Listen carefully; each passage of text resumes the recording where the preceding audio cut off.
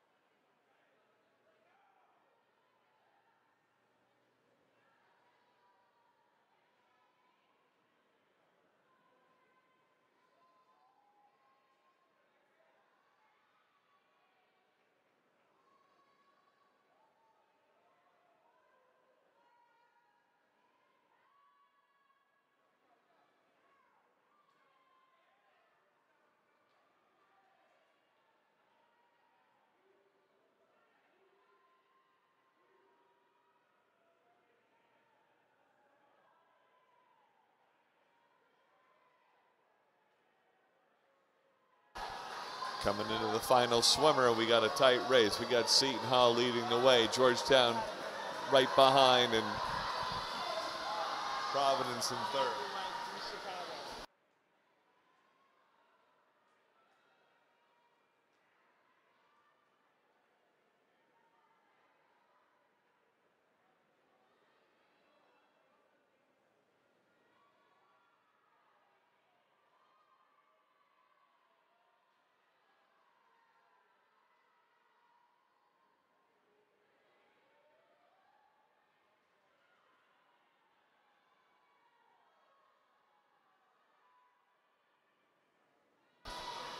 Coming down, Providence closing in. It's the final lap. It's a race for, for second.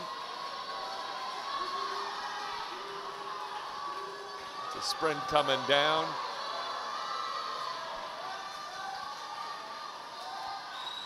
And Georgetown holds on for the second place. First place on Seton Hall, second Georgetown, and third Providence.